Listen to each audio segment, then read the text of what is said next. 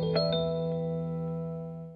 In this video, I'd like to do a book review of the book Cascadia Fallen, Tahoma's Hammer, written by Austin Chambers. This is a storyline that takes place in Western Washington, and it involves several different preppers that are involved in a grid down type situation that happens because of a major earthquake, or the big one, that's based on the Cascadia subduction zone. So there's a fault line right outside of Seattle, a large fault line, and if that thing were ever to slip, it would cause a major earthquake in addition to tsunami, and that's what happens in this storyline in addition to Mount Rainier erupting. So the Native American term for Mount Rainier is Tahoma. So Tahoma's hammer is basically the Mount Rainier eruption. So for this book review, we're going to go into a lot of details on it. There will be spoilers, so spoiler warning. I have a lot of notes over here with regard to the book. We're going to talk a little bit about the plot, about a lot of the things that I liked with regard to this book. There's a lot of prepper elements that I think would be interesting to you, the viewers, and we'll talk about some of the character storylines and then also the next steps for this book series. It's part of a three-part book series. This is book one. So let's get started now with this review of Cascadia Fallen, Tahoma's Hammer. So this is actually the first book written by author Austin Chambers, who I met earlier this summer. He mentioned that he learned how to write a book from the University of YouTube. So looking at a lot of different YouTube articles and various channels, which he describes in the first part of this book. So I thought to get started with this video, I was just going to read the back of the book to give you a general synopsis of what the storyline is. And then I'm just going to be talking over my notes that I have written down. So let's get started with that now. So let me read what's on the back of the book. So Tahoma, the native tribal name for Mount Rainier, wakes up after a devastating 9.0 earthquake shatters the Pacific Northwest. Entire counties are covered in mud, rock, and earth. Landslides and tsunamis add to the annihilation. Power and internet are knocked out for the entire American West. Hundreds of thousands die in the first day of the new world. Slaughter County shooting range manager Phil Walker knows things will never be the same. The former Marine is no stranger to tragedy, having lost his wife to cancer and his leg to a firefight. Phil establishes a secure camp for his family and friends. Meanwhile, Phil's son Crane and Captain Marie Darnell fight to stop disaster at a nearby shipyard. The catastrophe has unleashed a nuclear nightmare inside a submarine and threatened to sink an aircraft carrier permanently. Is it too late as the worst of humanity surfaces in a rapid deteriorating world? Will American spirit be enough as Phil and his community reel from new and dangerous threats?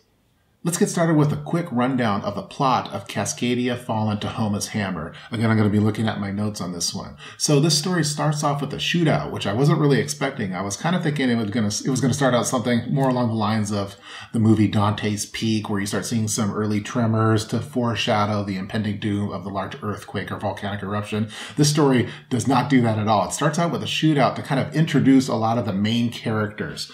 So it's basically an introduction to the characters, and then after that is when you get the first earthquake. And after that first quake, earthquake happens, you start seeing how these characters are responding to that situation. Uh, back in the early 2000s, there was an earthquake that happened in Washington State in Western Washington, which uh, I experienced. And the, the some of the plots that were described here kind of mimic what was seen during that earthquake. After that one, the big one happens, and that's the Cascadia subduction zone that would be the large earthquake, the 9.0 earthquake. And, and followed by that, then you have the Mount Rainier eruption and then multiple aftershocks. And then by that point, you know, everything really goes to, goes bad for Western Washington and beyond. So it basically brings down the whole American grid because uh, you know there's a lot of high tech companies that are up here. There's a lot of uh, power that's uh, being consumed not only by the state of Washington but by other states, and it really just starts starts a chain reaction that negatively affects basically uh, the United States from the west of the Mississippi almost. So let's see. Some of the notes that I have here is that bartering really begins early in this storyline where the various characters and the people that are involved in this emergency situation start bartering for supplies. Uh, I wrote uh, scumbags running wild. So a lot of bad guys and scumbags are basically start running wild because it becomes a lawless, uh, without rule of law. So, uh, and the prepared people start acting very fast in this one. This is basically the story of Phil. Phil's the main character that's involved in the shootout in the beginning of the story. And I kind of feel that he's probably based loosely on the author, Austin Chambers, but more of like a, a the hero type role that you would see for many different storylines. So again, it's uh, the story of Phil and a lot of the surround the characters that are involved in Phil's life.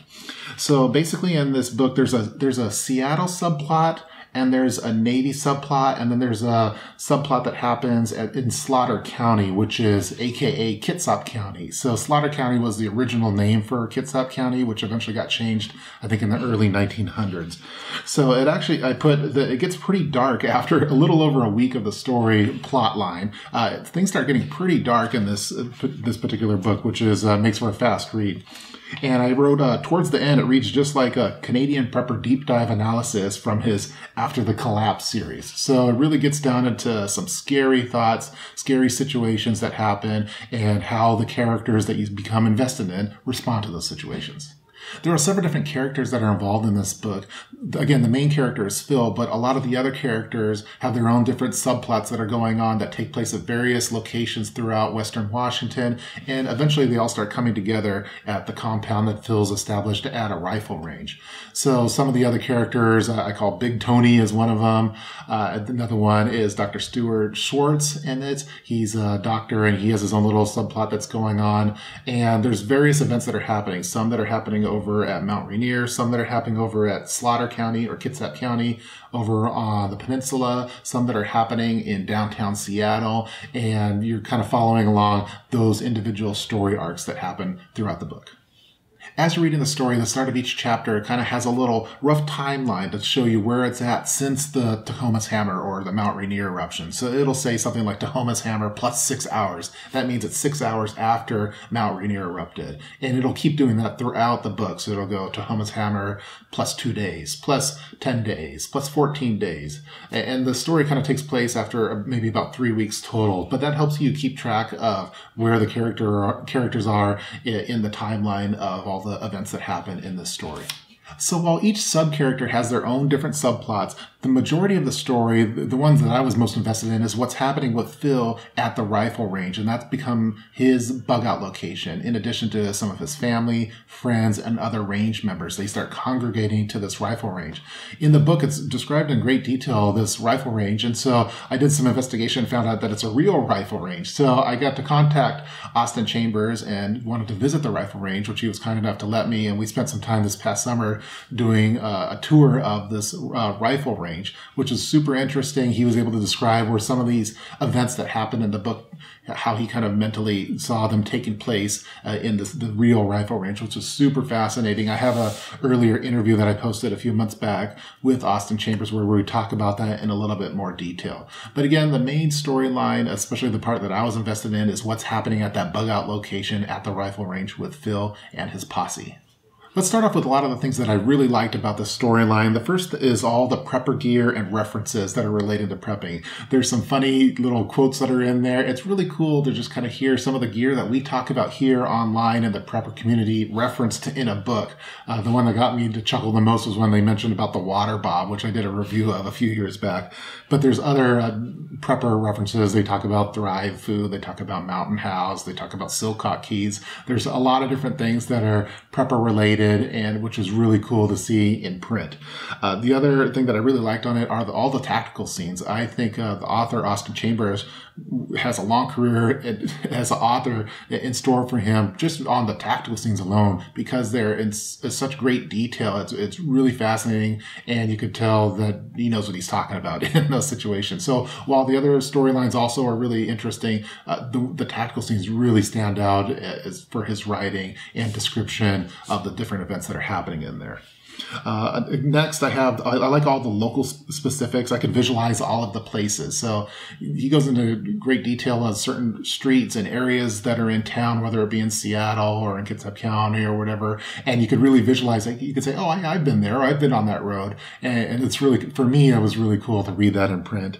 And then I really liked. Uh, there's some cool tricks and things to think about as far as what the preppers are doing for uh, when they're getting gear or whether they're uh, bartering or whether they're doing some little hacks to help uh, obtain resources. For example, there's one where uh, they have like an umbrella and they turn the umbrella in in a five gallon bucket, open up the umbrella, cut a hole at the bottom, and, and use that to collect rain water, which I thought was pretty cool. There's a lot of little cool little tricks like that that occur in this book.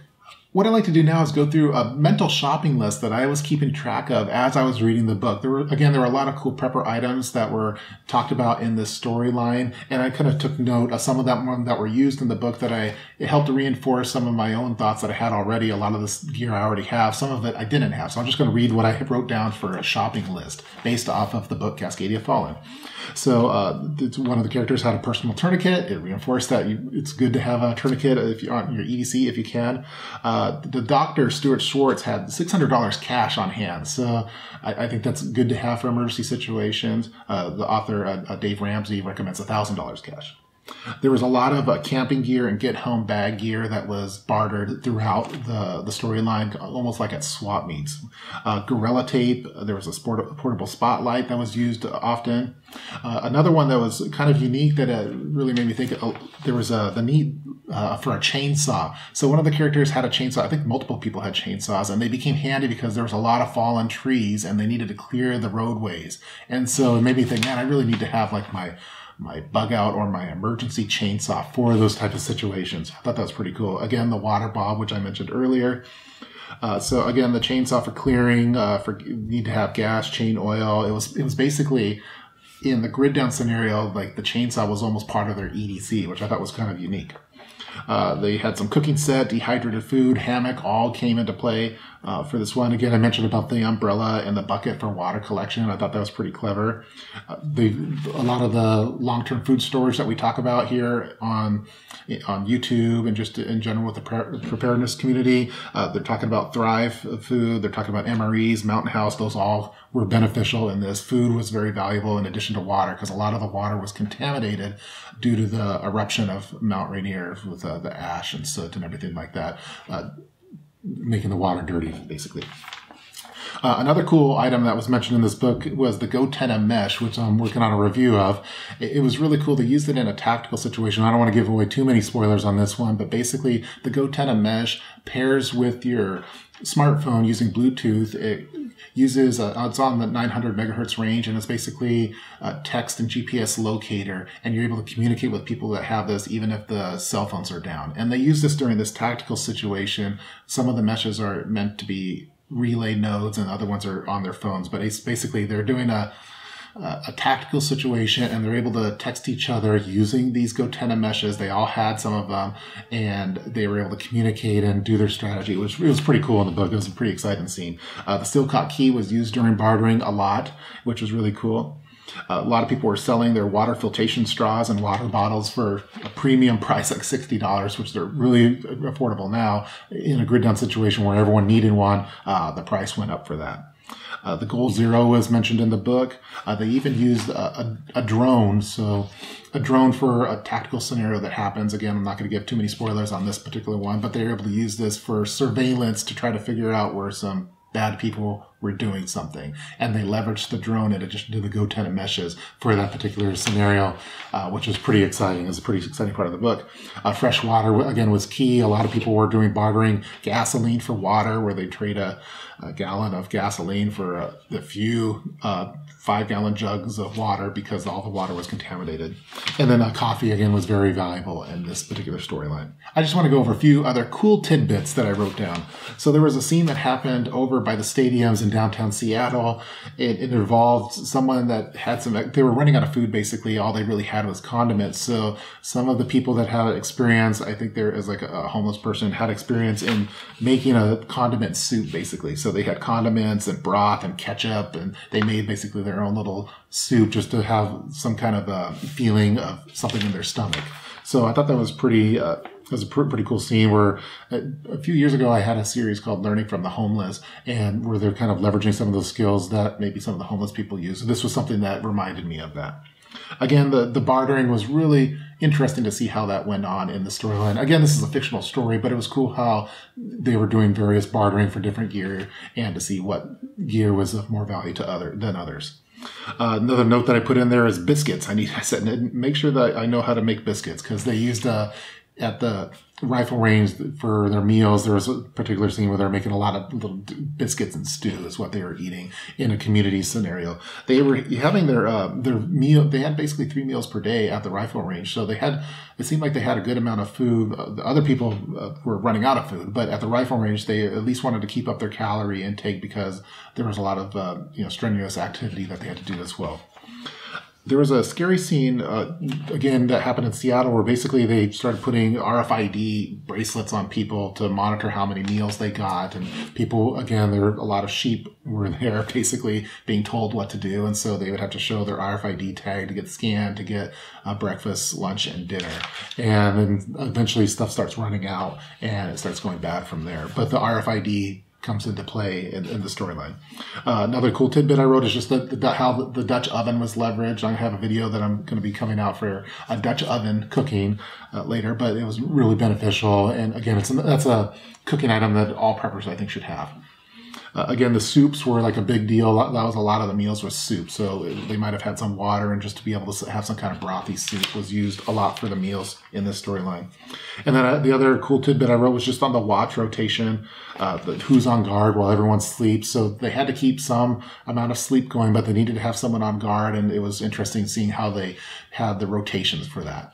So in summary, I really, really like this book. It's a super fast read and I became incredibly invested in the characters. And by the time I was done with the book, I was like, wait a second, it's done? What happens next? Uh, I don't want to give away too much that happens in there, but I'm going to provide information on where you could purchase this book at. You could get it from Amazon, a physical copy of the book. You could get uh, a PDF version of it or an e-reader version for your Kindle e-reader. You could also get it on Amazon Audible and have an audiobook of it.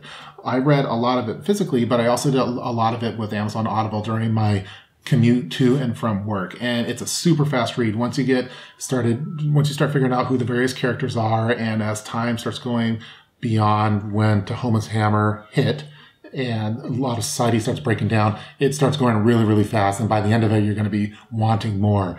And so uh, I think I highly recommend this book. Again, it's part of a three part series. And the second book, I believe, is coming out in a couple months from now. So I'm going to provide information for that in the description box below. I'm super excited to pick up where I left off with all of these characters that I became invested in in this book. So again, I, I highly commend author Austin Chambers for writing the story and taking the initiative to do this. Again, this is his first book, and it doesn't feel like it. It feels like he's a well-established author. So I, it was great talking with him over the summer about his strategy and his process for figuring out the different plot lines and how to write a book and how to you know make it all cohesive and everything like that. And I think he has a long career ahead of him. So again, I'll give you all the information for where you can get the book at. There's also some swag merchandise like the shirt that you see here. Uh, eventually, Phil starts creating, uh, there's different prepper groups that start forming. And one of them is Phil's group at the rifle range. And they start, they have like a posse basically that they, they form and they start meeting with other preparedness groups that are prepared and they start dealing with a lot of the chaos that's happening from the storyline. So again, the story gets pretty dark. There's some stuff that happens that is probably not kid friendly, um, but it's still pretty realistic on the, some of the stuff that we've analyzed here on YouTube in the preparedness community. And Austin Chambers has written a storyline about that. So it's super fascinating. If you're a prepper, I would recommend this book. If you're if you're into earthquakes, I would recommend this book. If you're into into Mount Rainier or Tahoma, I would also check out this book. It, I think a lot of people this book will resonate with them, and it's super interesting, and you're going to want to keep reading. So the new book is coming out in a couple months from now. I'll put information on that in the description box below. So I'm super excited for continuing the storyline of Phil and the other characters that are in his posse. So leave your comments below in the comments section regarding this video. I went into a lot of detail on this one, so I know it's kind of probably a little bit lengthy in duration, but I hope it was worthwhile. And again, check out this book. You're supporting a prepper. Austin Chambers is a prepper just like all of us. So if you pick up a book, you're supporting a prepper and you're helping him be able to write more and more books and storylines that are you're going to get super invested in and it gives you a lot of cool tidbits stuff that you might want to buy stuff to think about different scenarios that will make you think well what would i do in that situation? Or where would i where would my bug out location be? Or what would i barter this for that for? All of those are discussed in this book and it's super interesting. So again if you're a prepper you're really going to like this one. So leave your comments below in the comment section and i hope you enjoyed this book review of cascadia fallen tahoma's hammer written by austin chambers. See you guys